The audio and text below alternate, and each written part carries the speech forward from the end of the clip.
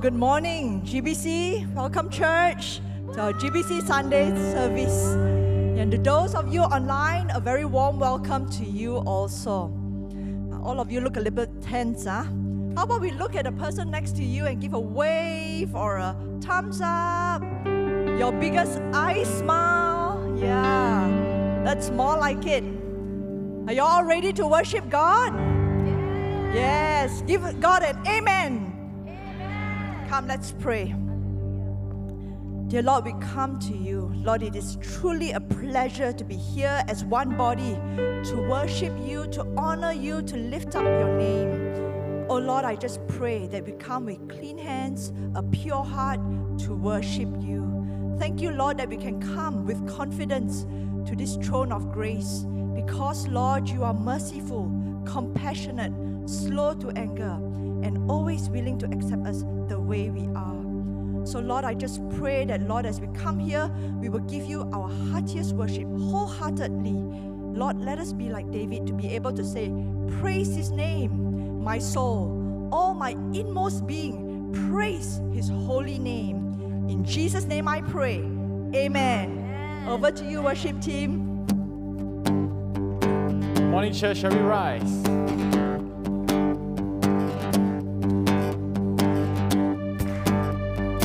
Put your hands together.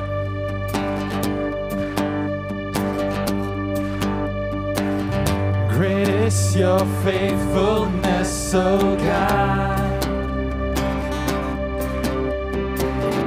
You wrestle with the sinner's heart. You lead us by still waters into mercy. Nothing can keep us apart. So remember your people, remember your children, remember your promise, oh God.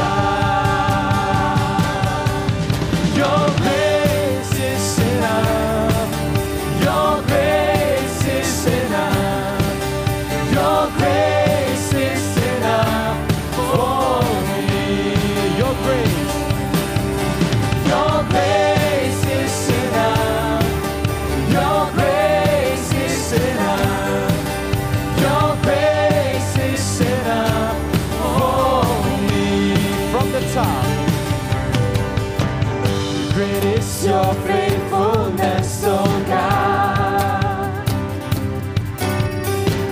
You wrestle with the sinner's heart. You lead us by still waters and to mercy. And nothing can keep us apart.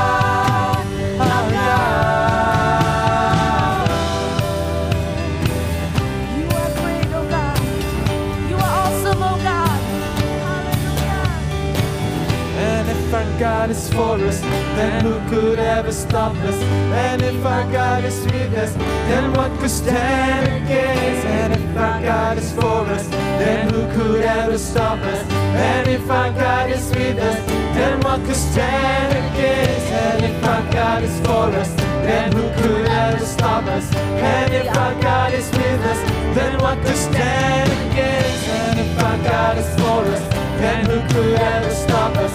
And if our God is with us, then what could stand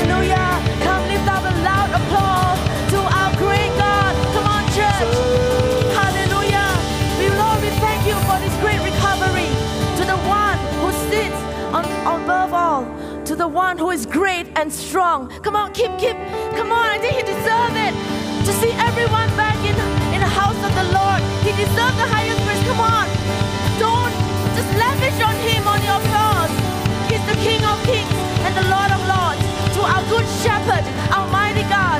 He's faithful. It's highly evident in keeping every promise to his people. Amen. For yours, O Lord, is the greatness and the power and the glory and the victory and the majesty for all that is in heaven and earth is yours. Yours is the kingdom, O God, and you are exalted, and above all, both riches and honor comes from you, Lord, and you rule over all, Lord. In your hand are power and might. And Lord, to see today, Lord, to see that the recovery is coming back strong, God. We want to give you praise, oh God, Lord, and give you thanks. Lord, we thank you, God, our God, and we praise your glorious name. Hallelujah, hallelujah, hallelujah, hallelujah. Let's sing this again, our God. Let's sing this again, just with your voice. Truly, He deserves our highest praise. To see those that I have not seen for some time, and it was such, such a great joy to see everybody coming back to the house of the Lord. He deserves the highest praise, isn't it? Just one voice, one voice, and one heart. Let's lift it up. Our God is greater. Declare it out. Here we go. Our God is greater. Our God is stronger. God, you are higher than any other. Our God is healer, awesome in power. Our God, Our God, sing our God, you're great. our God is greater. Our God is stronger.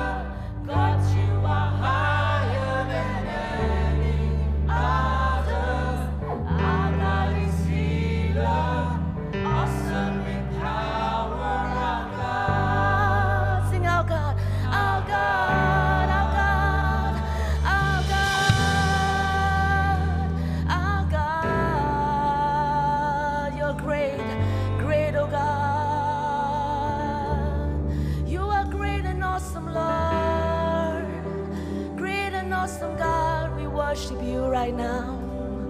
Hallelujah. firm foundation. Yes, yes, Lord. You are a strong tower, Yes, God. Hallelujah. present help in time of need. Thank you. Thank you, You Lord. have preserved us, Lord. Mm. Thank you, thank you, You Jesus.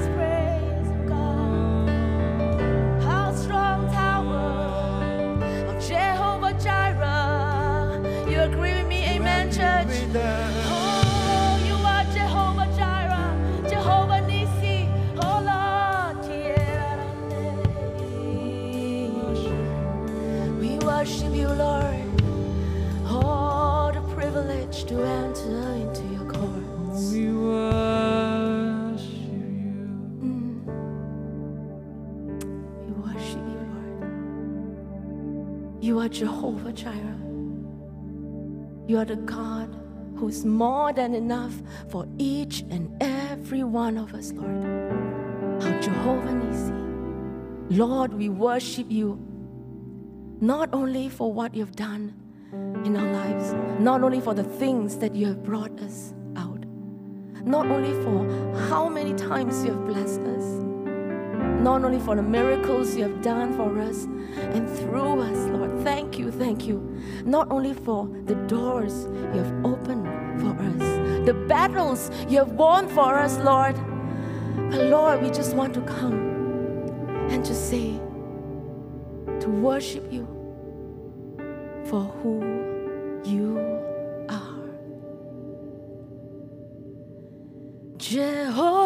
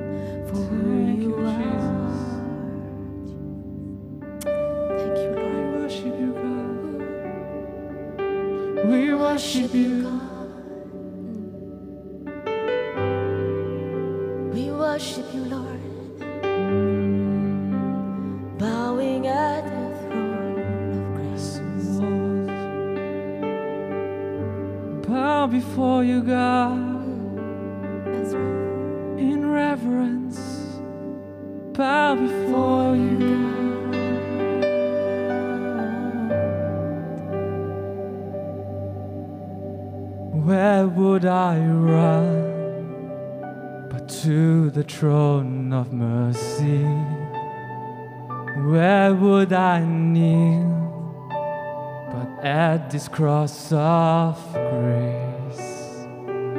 How great the love, how strong the hand that holds us. Beautiful.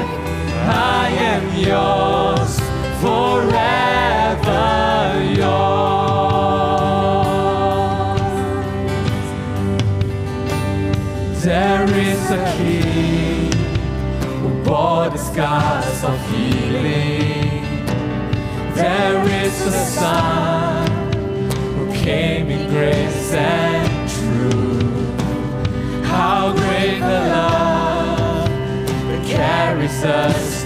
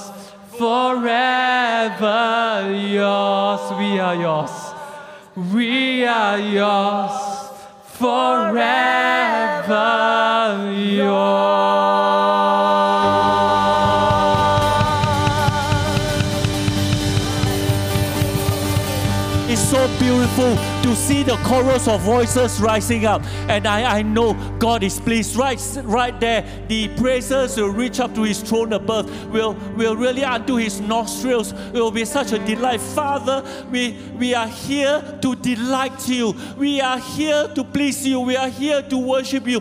Worship is all about us connecting with you. It's always about you. Father, it's never about anyone. Let us not for a moment focus on issues that are not important, but focus on you and you alone. Whatever that we do, Father, we don't want to do church. We don't want to play church.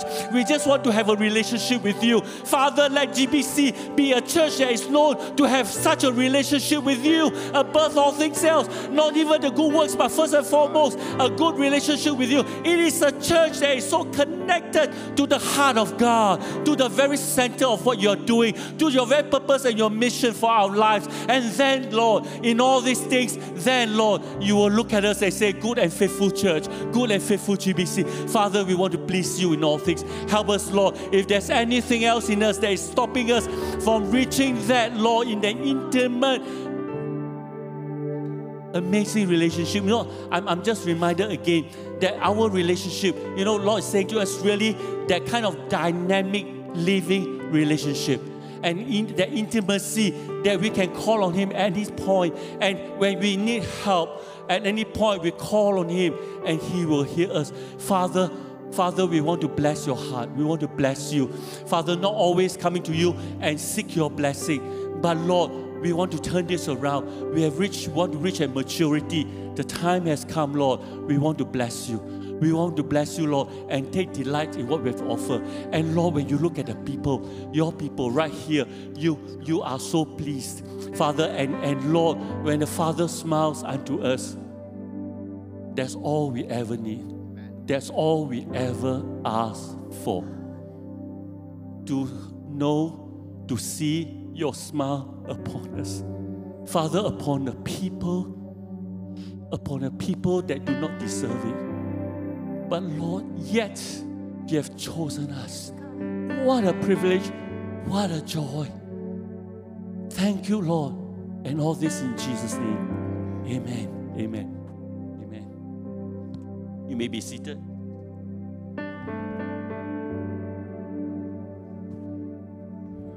You know, before we come to the communion table and partake of the elements, I just want to share a thought uh, with you. And somehow, this thought, this passage I've selected, is connected to the worship. I, I really didn't know what song they wanted to sing, and uh, we don't coordinate in that sense. You know, these are the last words of Joshua. I'm sure you would know, if you have been reading your Bible, that the last words of the characters of the Bible are very profound. They are always very profound. And these are the words of uh, Joshua his last words, and he said this, recorded for us in Joshua chapter 24, reading from verse 14. Now fear the Lord and serve him with all faithfulness.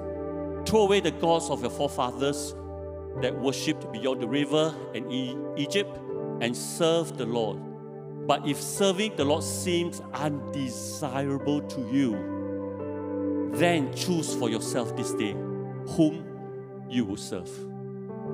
Whether the gods of your forefathers served beyond the river or the gods of the Amorites in whose land you are living. But, but, the but, everything else before that has been thrown out. But as for me and my household, we will serve the Lord. You know, I, I really, this is my desire that really every one of us at church, this is our cry. At the end of the day, in all things that we do, you know, at the end of the day, as for me and my household, we will serve the Lord. And I believe that even as we are into this very unusual season, well, I really hope that the recovery will be permanent. We are on the trajectory to normalcy. I really hope so. Um, I, have a lot of confidence, but I'm not sure. And I, I, I trust that at the end of the day, you know, if this is the trajectory, God is giving us a window period. A window period that is such a sense of urgency. I, I sense it in my spirit, such a sense of urgency for us to rise up, take our place of authority, and work and bring light into places that are still dark in the lives of many people today. And you know, I'm reminded again that you know that the Lord says that uh, in verse 11, Ecclesiastes, uh, in the Bible, it says here, He has made everything beautiful in His time. He has set eternity in the hearts of men. Yet they cannot fathom what God has done from the beginning to the end. You know, God eventually will work out, make everything beautiful in His time. And I personally know many of you are, some of you are struggling with few things, issues, relationships, family, finances, and all that. And I personally know that. I, I want to say to you at the end of the day, you know, this is the hope that we have in Jesus, that He will make everything beautiful in His time. And um, I want us to be reminded again when we partake of the elements, the communion, we are partaking unto the death of Jesus, that we may be raised again on the day, and we will there will be no permanent second death for us. But more importantly, more importantly, we are partaking unto his victory, his blessing. Not that everything will be all right immediately, but Jesus will walk through that journey with us. While we are in that period of darkness in the valley, Jesus will walk through that period with us. And partaking of the Holy Communion together, it is partaking unto his work on the cross that we may appropriate everything else from, from the cross, from Calvary, the blood of Jesus, into our lives, that we may begin to know that in Jesus there is real hope. I want us to understand this as we partake of the elements together. Can we all rise? Let's all rise.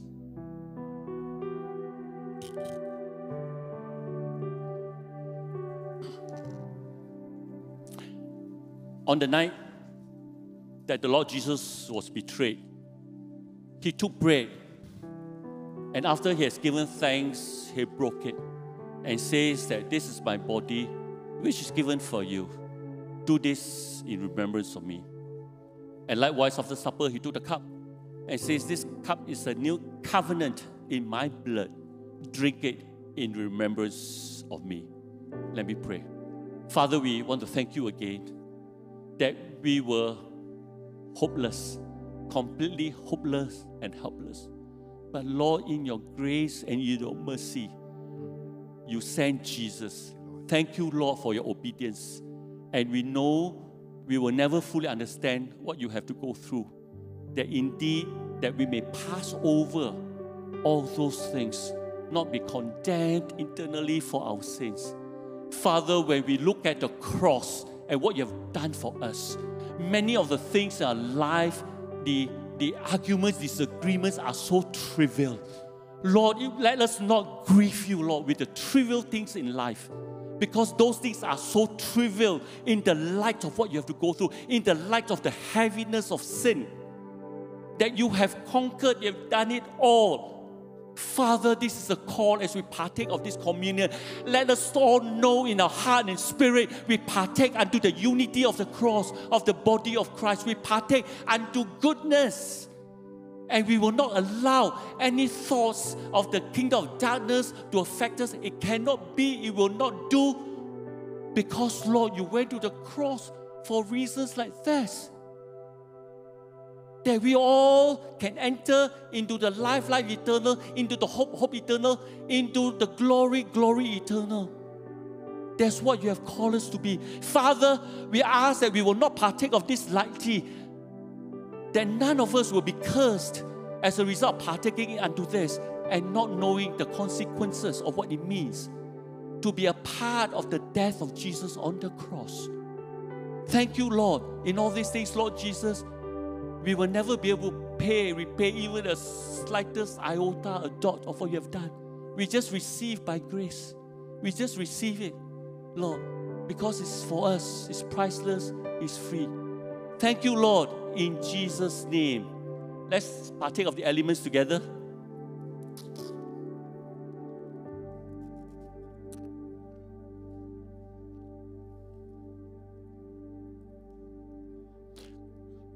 You may be seated. Pass this time to Joe Ching for the GBC News.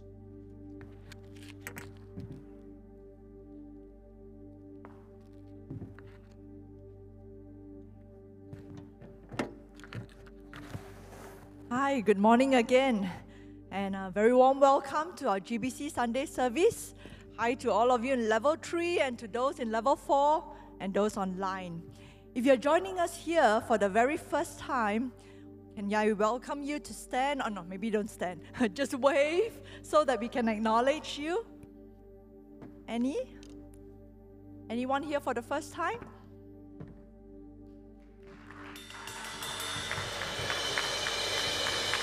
Yes. Yeah. The visitor. One more right at the back. Yeah. You get a visitor card. Please fill it up and pass to the ushers as you walk out after the service. And those for you, for those of you online, please give us your details too, so that we can connect with you. Okay.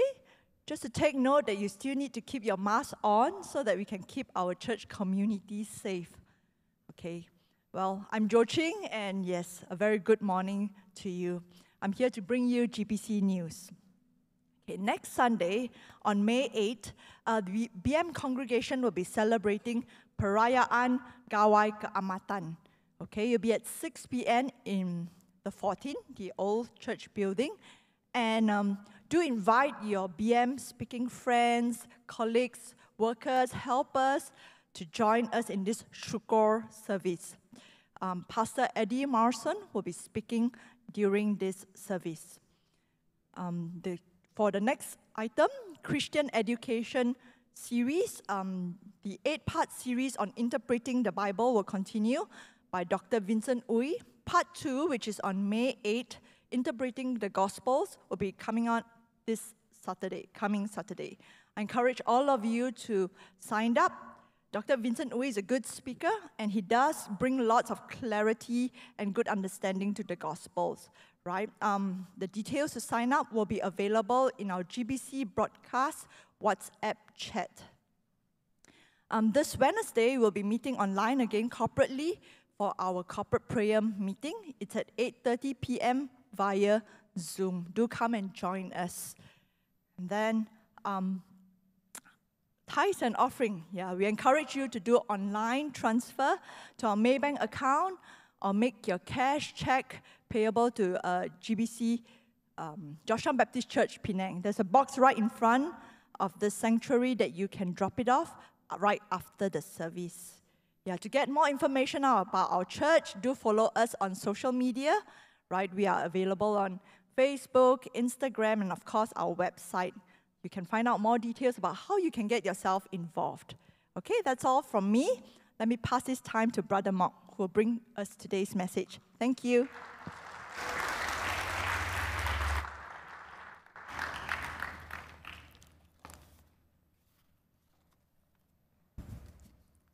Good morning.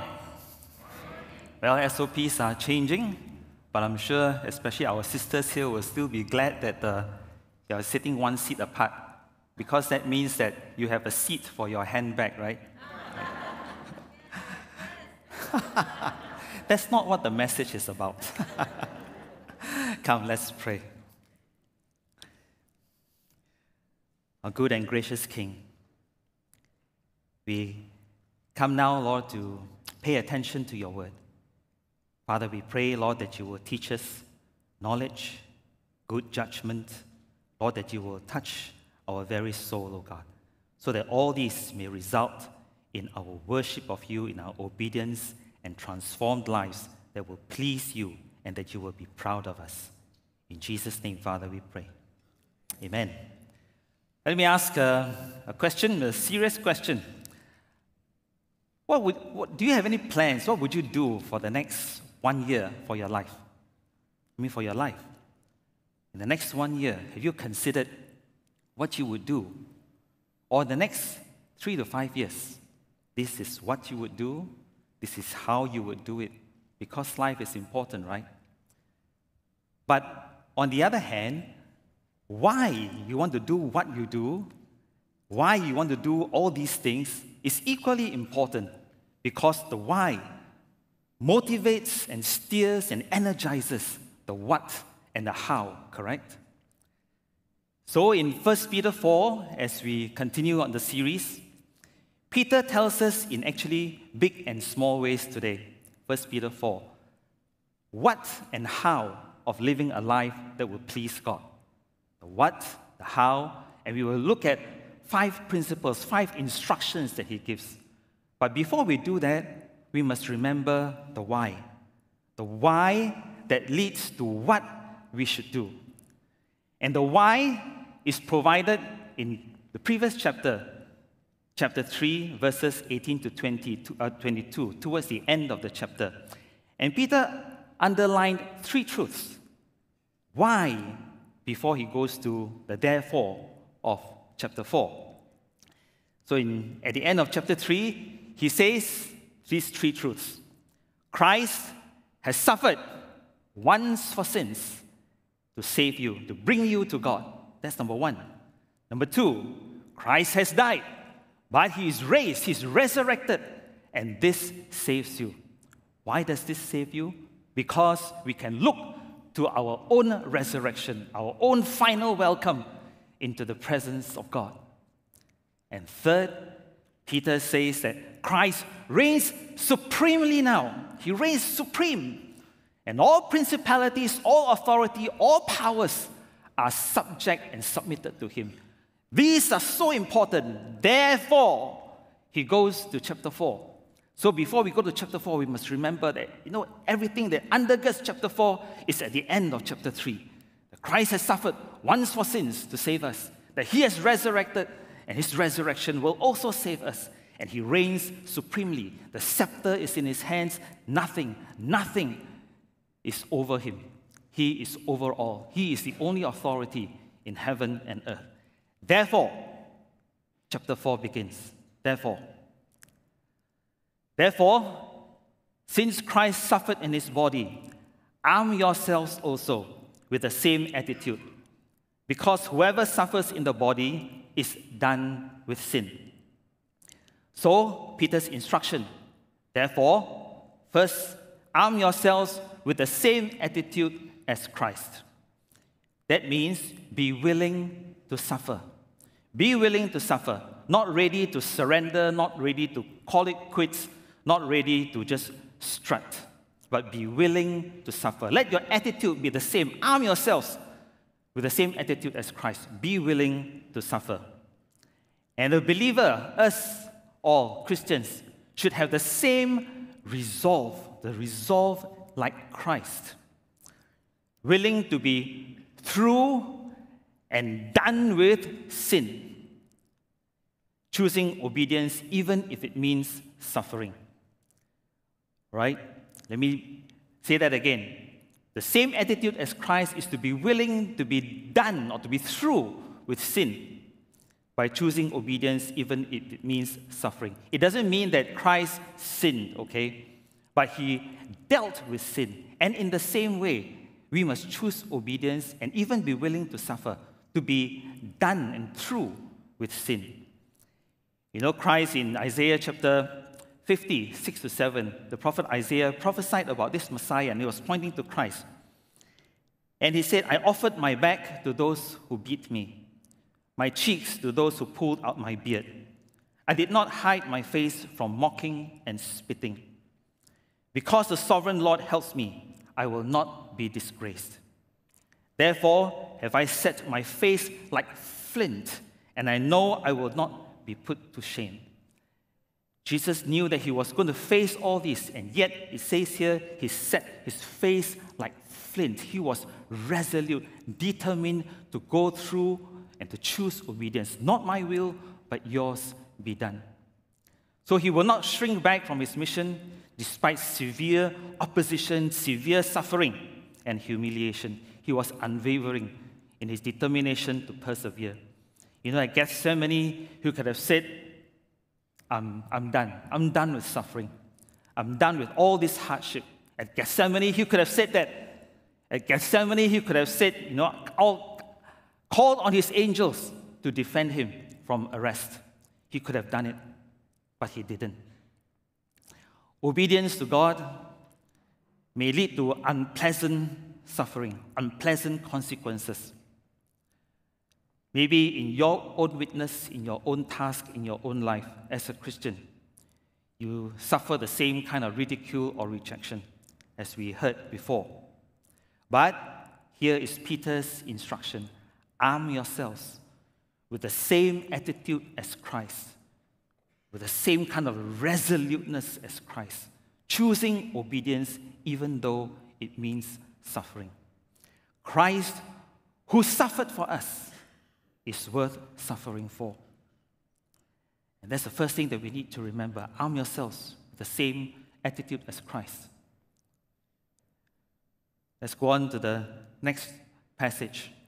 As a result, for those who have so armed themselves, as a result, they do not live the rest of their earthly lives for human desires, for evil human desires, but rather for the will of God.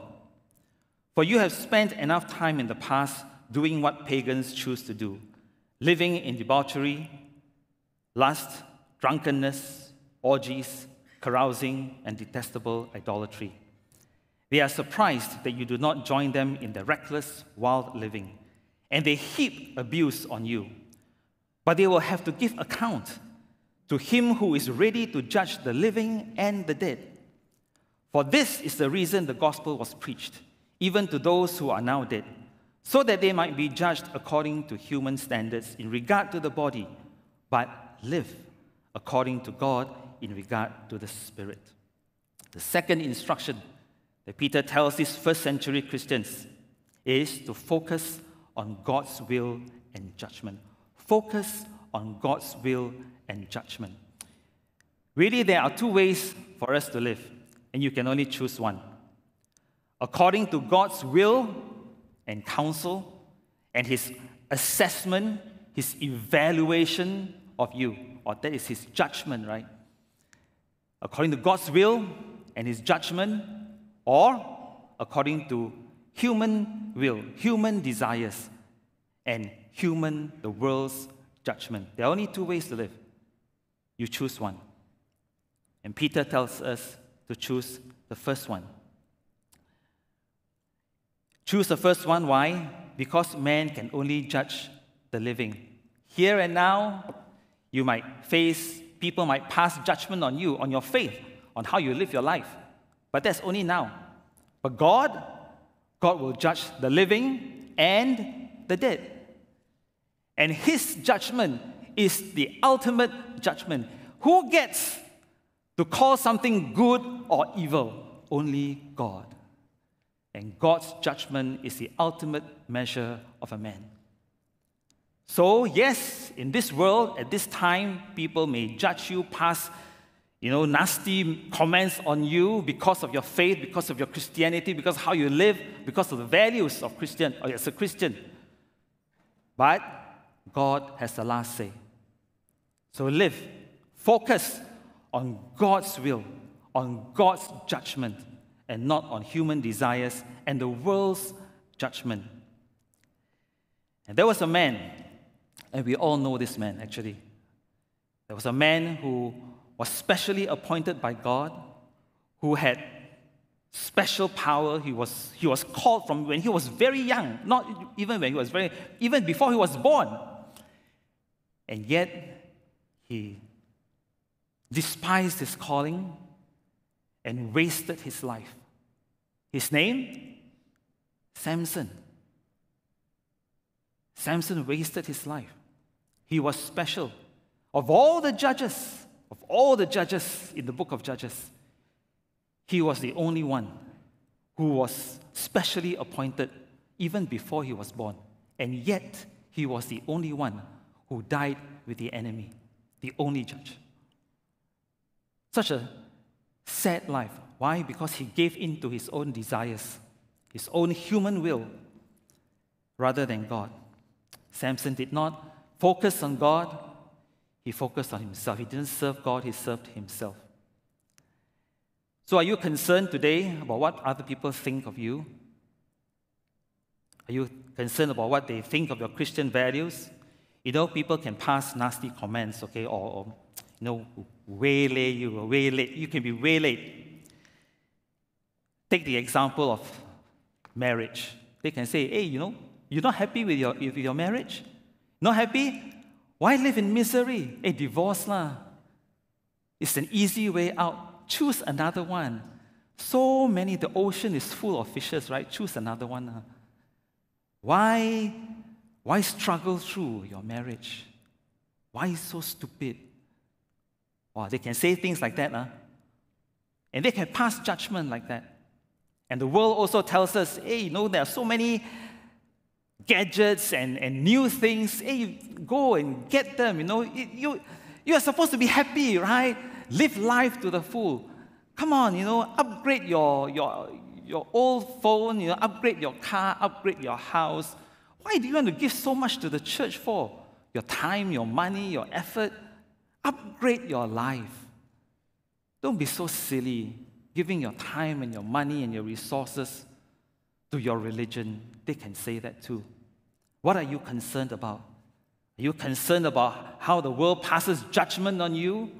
Or are you concerned and focusing on God's will and God's own judgment? So let us not embrace the gods of this culture. Focus instead on God's will and His standard or His judgment. Really, Proverbs 29 25 says, Fear of man will prove to be a snare. The fear of man will prove to be a snare. But whoever trusts in the Lord is kept safe. Focus on God's will, focus on God's judgment, not what the world says. Next, Peter says, The end of all things is near. Therefore, be alert and of sober mind, so that you may pray. The third instruction from Peter for us is Pray for God's agenda with urgency and fervency. Why does Peter say the end of all things is near? Why does he say that?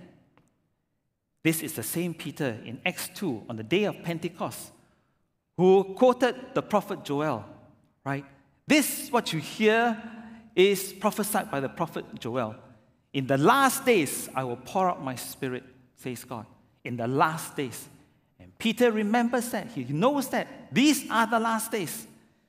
Friends, it was true then, it is even truer for us now. These are the last days. This is the home stretch. And there must be some, some urgency to it. The end is near. Jesus has died. He has ascended. He now sits at the right hand of the throne of the Father. And the end is near. Even though for us it's 2,000 years plus. But this is the home stretch. There's nothing anymore for, except for him to return. This is the home stretch. Therefore, two things be alert, be sober. What's the opposite of that? Be clouded, be foggy, be distracted, right? Be clouded, be drowsy. And what will cause us to be in that kind of a condition, to be clouded, foggy, dr- you know, drowsy? If I believe Peter is referring to wild, reckless, self willed living. That will cause us to be drowsy and foggy and clouded where God is concerned. But on the other hand, if we are focused on God, we will be clear, alert, and sober minded. And if we are clear, we are focused on God, what should we do? We should pray. We should pray. Prayer is really not an option. You need to follow Peter's argument. Peter is saying the end is near. This is the final stretch already. Make sure you pray and with alert minds and clear minds. So he's urging us to pray urgently, fervently, not in a cold and casual kind of a manner. Karen Jobes, this biblical scholar, she said, the first resources for living out Christ's victory is the believer's prayer life. That is the first resource for living out Christ's victory is our prayer life. How we connect to God, how we commune with God. In light of these last days, you know, in, these are the last days, this is the final stretch. But in light of that, what should our prayer point be when we come to God? When we pray, what should our prayer point be? When we ask to be urgent and fervent in prayer. But because of these last days, what should our prayer point be? What do you think? We should pray for God's agenda. What's really important on God's heart? We should pray for that. Not random kind of rambling, not vain repetition, but with clear minds, with thoughtful minds, pray God's agenda. We ask,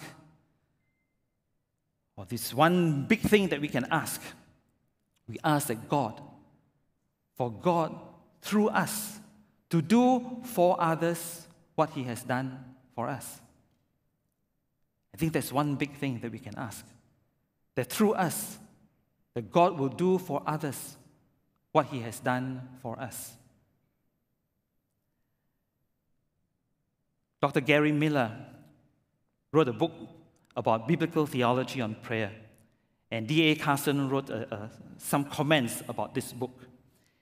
And he says what Dr. Gary Millar has uncovered is that the majority of biblical prayers are tied in one fashion or another to God's purposes. Biblical prayer, Dr. Gary Millar, in his research, has found that biblical prayers are tied in one fashion or another to God's purposes across the sweep of redemptive history. But he has also found that a great deal of contemporary Christian praying is centered on individual anxieties, needs, and preferences, and not on the purposes and promises of God. So he's not saying that this is wrong, but he says that it's so imbalanced that all the time, or most of the time, our prayers are centered on our own needs, our own preferences, our own anxieties, rather than on the purposes and the promises of God. And it's so imbalanced. I think we need to right the balance. You know, in prayer, we are not praying to manipulate God for our own private ends, but it's really to pray. Like Jesus taught his disciples to pray. What did he say? What is the overall, overarching theme of prayer? Your kingdom come. Your will be done. And then everything flows from there. That is the main body. Your kingdom come. Your will be done. And all the other tributaries will flow from there. That is how I think we should pray for God's agenda fervently and also urgently. I also pray for my grandchildren, two granddaughters. I pray for them, you know, even when they go on holiday, They will enjoy themselves, see a lot of new things. But I pray that in all their fun, as they experience new things and God's wonder, and also all the new technologies and so on, that all these will also point them to God. Finally, that is what is important that they will experience God for themselves. We pray, of course, as parents, we pray that our children will have many A's, correct or not? No. ah? To what end? We pray for them to have many A's. To what end?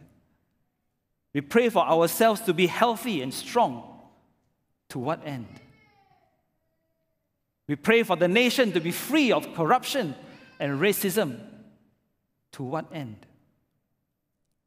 We must answer these questions, and that will motivate, energize our prayer. We must have the right focus, the right end in mind. So pray for God's agenda with urgency and fervency. The next passage. Above all, love each other deeply, because love covers over a multitude of sins. Offer hospitality to one another without grumbling. Each of you should use whatever gift you have received to serve others as faithful stewards of God's grace in its various forms. If anyone speaks, they should do so as one who speaks the very words of God. If anyone serves, they should do so with the strength God provides, so that in all things God may be praised through Jesus Christ. To him be the glory and the power forever and ever. Amen. This fourth instruction has three sub instructions, okay? So it's pretty packed, but let's see what we can do with this today. The fourth instruction is to love constantly. Actually, I, think, I believe it means, you know, we have heard the, the phrase, the only constant is change, or change is the only constant, right? This, it means let love be your only constant. Let your constant be love. Love constantly. Love each other deeply. So the word describes, you know, that love, let your love be stretched, let your love be extended. So God or Peter is asking us to love in such a way that our love keeps stretching in depth and also in endurance. Keep stretching your love, extending your love. So in every circumstance, let your love be extended, not be fickle, not be fleeting. Let it be constant. Let your love be constant. How do you do that? One, forgive. Forgive. It says love covers over a multitude of sins. How do we understand? How should we understand this? Actually, Peter is referring or quoting from Proverbs, Proverbs chapter 10, verse 12. And it gives the opposite or the antithesis of what it means by love covers over a multitude of sins. It says, hatred stirs up strife. Hatred stirs up strife, but love covers all offenses. So, you want to know what this means? You can also see this. Love covers over a multitude of sins. The opposite of that is hatred. Hatred stirs up strife. So, where there is no forgiveness, there is a tendency to uncover. The opposite of cover up, uh, cover over is to uncover. Uncover sins and offenses. Dig it up. Dig up all these grievances, dig up all the offenses, and make an issue out of it. All the faults, all the wrongs, stir up strife, stir up dissension, stir up dissatisfaction. That is the opposite of how it is to love. Why is this important, especially among first century Christians? Because Peter was writing to first century Christians, right? The first century Christian, we must understand, was small, much, much smaller than this. And believers were in towns that are, you know, widely spread out across Asia Minor. Now, if the relationships in this small community was destroyed by hatred that stirs up strife, then the believers would have nowhere to run, nowhere to turn to. But more importantly, the witness of the gospel in that place will be extinguished. It will be snuffed out. That is why it was so important then. But does it mean that it's not important today? Of course not. It is as important today. We don't want that to happen to us. So, we really should ask ourselves some questions. Do we have a list of people who we find difficult to relate with? Do you have such a list? Do you have a name that you can put on that list? This is your list. Do you have a name there? These are the people I find difficult to relate to. Do you have such a list? Do you have a name? I wish mine was blank, but it's not. Is yours blank? Probably not, because we are all so different. But what do we do? We must not hate, we must not dig up things that have been dealt with before and then stir up strife. We must not spread the poison around because that would hurt the church, that would hurt the witness of the church, that would hurt relationships within the church. You know, a lot more can be said about forgiveness and, and this area. But this is one thing that I found helpful or insightful. I was speaking to one of the seminary lecturers and talking about Peter, you know, when he came to Jesus, he said, No, shall I forgive my brother? How many times shall I forgive my brother? And Jesus replied, Remember? 70 times seven times. And this lecturer said, You know, when Jesus answered Peter, was Jesus telling Peter to forgive 70 times 7 different occasions or 70 times 7 times for the same offense? I, I found that helpful because, as we all know, forgiveness is not easy, isn't it? It may take time. You might need to forgive time and again and again and again and again, even for the same offense. But as you do so, and we might come to that place where we, we need to forgive some offense time and time and time and time again because it keeps coming up. But as you do so, do not spread the poison around. Do not spread the hatred around. And that's easy to do, isn't it? By innuendo, by insinuations, we can hurt other people. But let's not do that. That's how love, that's how love can be constant. All right? But before I finish with this, I just want to say that cover over is not cover up. Okay? There is a difference between covering over and a cover up. That's another story for another time. But sins and offenses and wrongs, there's a place to confront that as well. It doesn't mean that we cover up everything. It doesn't mean that we sweep everything under the carpet. It doesn't mean that there are passages in the Bible that tells us how to deal with this. Okay, but we don't have time for that.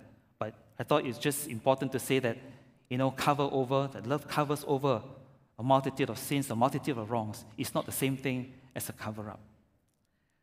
Second thing, under love constantly, be hospitable. Be hospitable with open hearts. That's in verse 9. You know, at that time, where did the local church meet? In a place like this? No. The local church would meet in people's homes, in people's houses. So Peter is encouraging them to open up their homes so that the believers there, the, sm- the small number of believers there, can go and worship and fellowship together. And you can imagine, we touched on this before, that these were in hostile territory, right? The people around them were hostile, they were suffering. And you can imagine that, hey, these homeowners uh, may be reluctant, okay? I don't want to open up my home for this kind of meeting, for this kind of fellowship, for this kind of worship. Why? Because if they open up their homes in that area, they may be the target, new targets. People might focus on them. So they may be reluctant, and hesitant to open up their homes. But Peter is saying, be hospitable. Open up your homes, open up your hearts. And opening up their homes was also important because any believer who was in distress or who was in trouble could find a place of refuge, a warm place, a place of fellowship and support. It was important then. They never had teh tarik stalls, you know, and other places where they could go to and hang out and talk and things like that. In our setting, it may be different. Yes, we can go to teh tarik store, we can go to restaurants, we can go to places, but there is nothing that would duplicate a home environment. True or not? When you receive somebody into your home, it's like family. There's a warmth and a welcome that cannot be duplicated. And that's why it's so important. SOPs have changed. Maybe CGs are meeting in homes again. Hey, you know, thank, thank your hosts for opening their homes.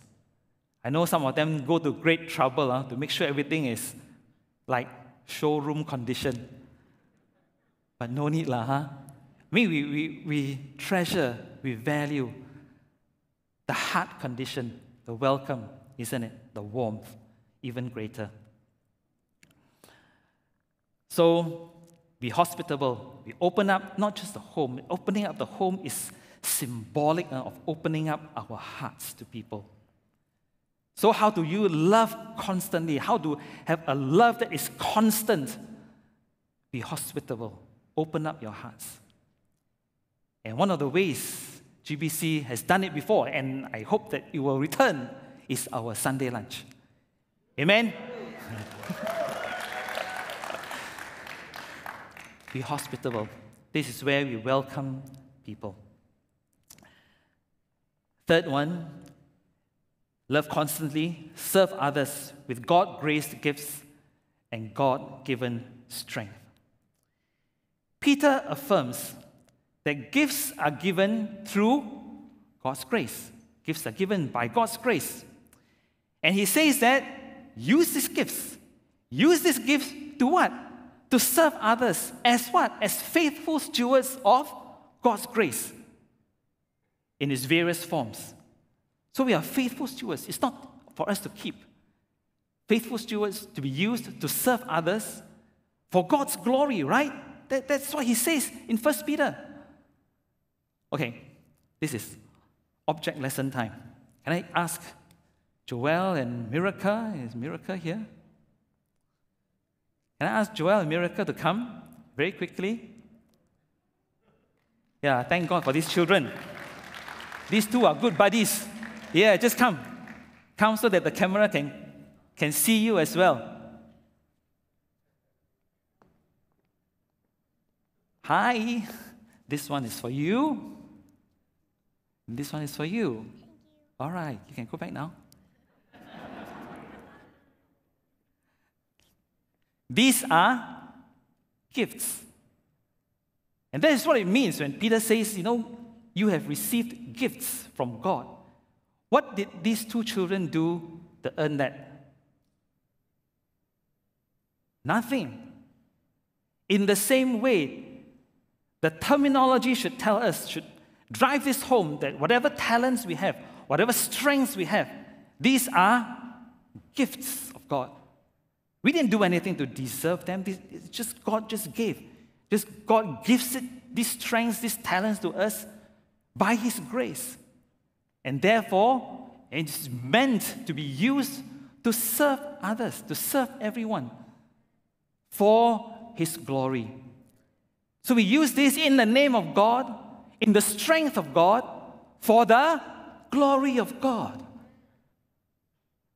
And we shouldn't say that, hey, you know, only the, the preacher, those with the word gifts uh, are important. AV, uh, yeah, who cannot do AV? Everybody can do AV, ma. Usher, who cannot usher? Everybody can smile, ma. No. But they do it in the strength of God. Yes or no? No, no sound from AV. They are focusing. in the strength of God for the glory of God. So, whatever gifts we have, how, you know, when we use it, it's not about elitism, it's not about self glory, it's for the glory of God and for everyone. And so, this is one important thing, you know.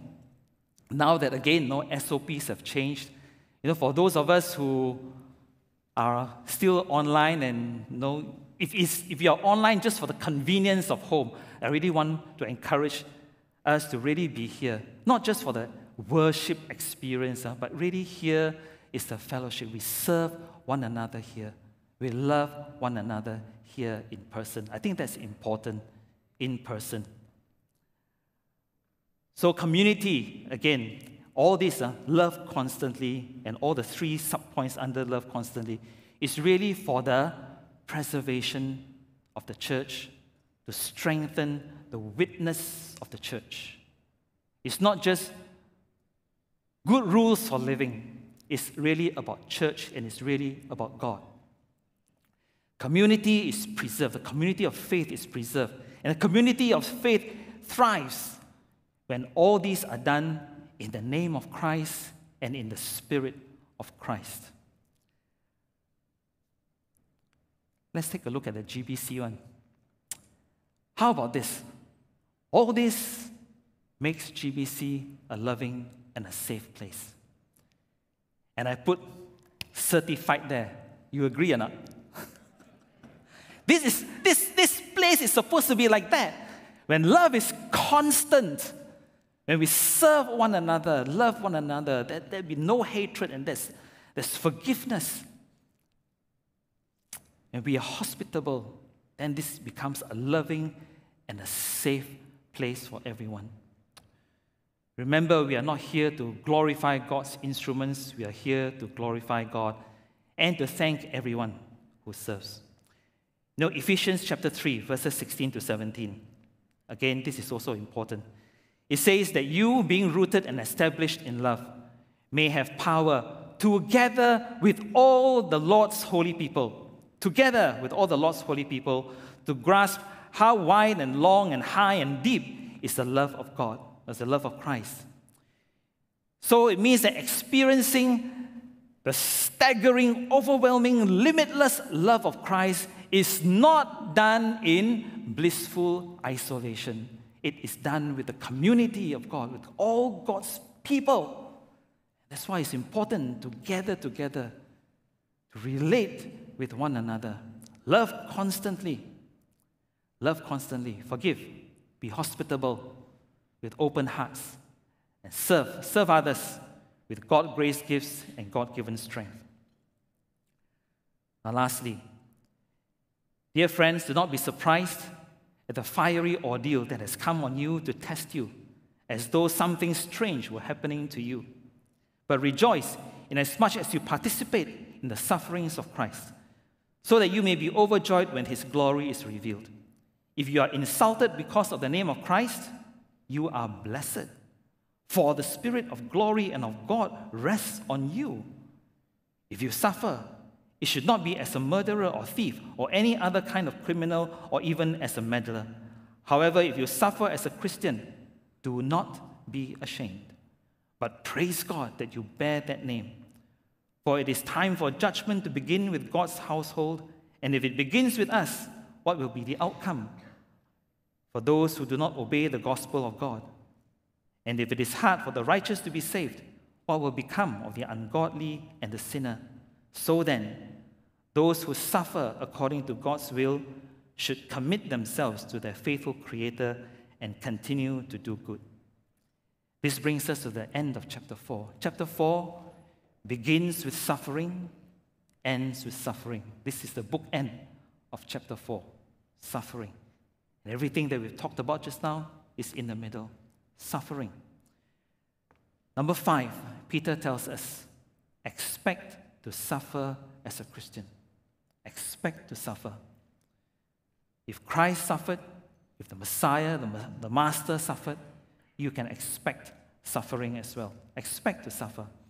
I'm not sure, you know, sometimes the gospel is presented to people to say that, you know, life will be peachy, Life will be a beach. Life will be roses, you know, a bed of roses after you become a Christian. Not true. It's not true. There can be suffering. You can expect suffering as a Christian. Why? Because of the world, because of the hostile world, because of sinful world, if for no other reason. If you are insulted, the passage says, Because of the name of Christ, you are blessed, for the Spirit of glory and of God rests on you. It doesn't mean that after you have suffered, then the Spirit of God rests on you, and then therefore you are blessed. It doesn't mean that. It means that when you suffer, it is a mark. If you suffer as a Christian, it is an evidence, a mark that the Spirit of God rests on you. And whoever the Spirit of God rests on is blessed. That's what it means. So, if you suffer for the name of Christ, rejoice. Be glad, praise God, and it says, do not be ashamed. You are blessed, for the Spirit of God rests on you. That is your mark. So, do you have scars? Uh, scars of suffering? That is a mark that the Spirit of God rests on you. And the one on whom the Spirit of God rests on can be really certain of, again, this big word, eschatological hope, the hope of the resurrection, the hope of glorification, the hope of the living in God's presence forever and ever, and joy forever, everlasting joy. So rejoice, praise God when you suffer as a Christian, when you're mocked, when you're reviled, when you're ridiculed as a Christian, when people taunt you as a Christian. Rejoice, do not be ashamed. But more than that, commit yourselves to God and continue to do good. Commit is a name, it's a phrase that we use for banking. Uh. It's like a deposit to a bank. Commit yourself to God. Why? Because it is secure. God will guard it like the bank will guard your money. You're afraid that if you put your money in the bank, the bank will take it and use it and you'll be lost or not. Are you afraid? No, huh? Wow. Maybe you are. but that's not God. Same phrase. Commit. Commit. You will be safe with God. God will protect, God will guard it. Nothing can snatch it away, it will not be lost. Commit yourselves to God. Continue to do good. So we can have full confidence in, our, in God even in our suffering. Nothing will snatch us away. God is there to welcome us. Christ reigns supremely, and He will be there for us now and also in time to come. Continue to do, to do good, persevere, don't give up even in suffering. So, all five. I'm not, sure how many we remember. I hope some of these will really speak to us today. Because of the truths of what Christ has done, because of everything that He has done, because of who He is today, let us live like this. Arm yourselves with the same attitude as Christ. Be willing to suffer. Focus on God's will and judgment, not on the world's. Pray for God's agenda with urgency and fervency. Love constantly. Let your love be your constant. And expect to suffer as a Christian. You know, 1 Peter 4 is not intended to beat us up. Uh. Hey, you're not living like this, you know. Shame on you. It's not like that. 1 Peter 4, like one preacher says, invites us invites us to live the kingdom life, the life that Christ would have us live as his people. It is a, an invitation for us. You are God's people. You believe in Christ. Come, live this way. Live this way. This is what God intends for us. This is an invitation to us. How many of you will accept this invitation to live kingdom life this way? Do you? And I know we will sing a response song in a, in a bit. And I'm not sure. Today, I want to open this time to, for you to respond to God. I think this is an important passage, and maybe there are points that you want to respond to. Some of us might want help to live this way because it's, it's not easy. And we need every bit of help that the Spirit of God will help, will, will give to us. And you might want help that way for someone to pray alongside you. You may be weighed down by sin or by sorrow, and you want somebody to pray with you. You may want you, you may have been hurt actually, harmed, whether in the church or outside of the church, by the words that people say, by the things that they do, and you need some kind of healing, and somebody can pray together with you for that. For some of you, you might have come to realize today that, hey, Christian life is not a beach. You can expect to suffer as a Christian. You might want to speak to somebody about that and pray about it as well. So, as we sing, if any of these, if you would like prayer for any of these things or for any other reason, I want to welcome you to the front where ministers and servants and fellow brothers and sisters will pray alongside you.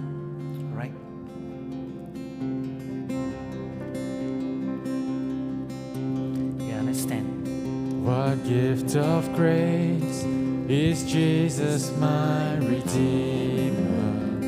There is no more for heaven now to give. He is my joy, my righteousness and freedom, my steadfast love, my deep and boundless peace. To this I hold, my hope is only Jesus. For my life is wholly bound to His. Oh, how strange and divine! I can sing all is mine, yet not I, but through Christ in me.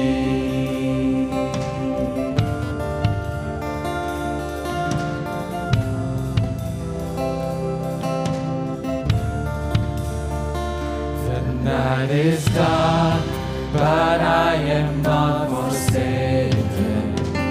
For by my side, the Savior, He will stay.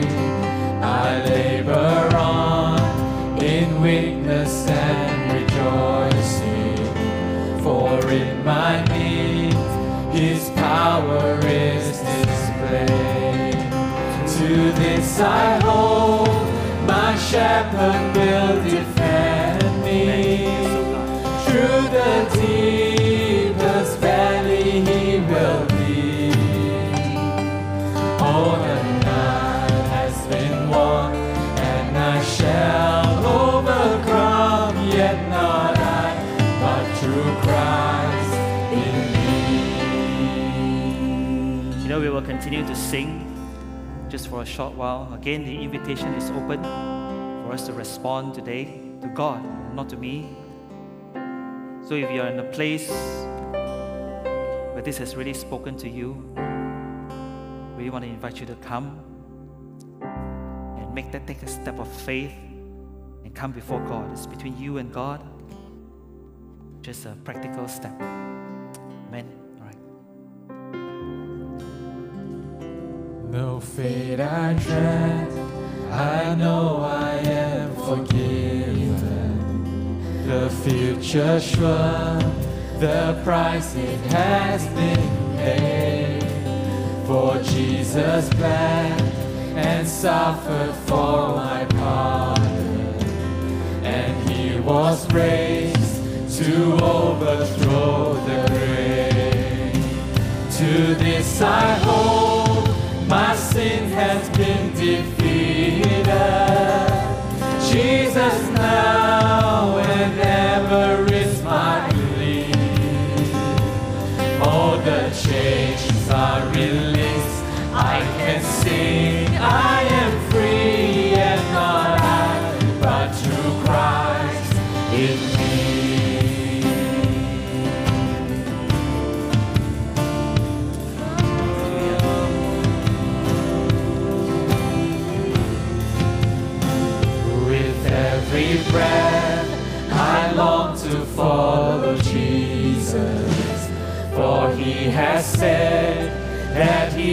bring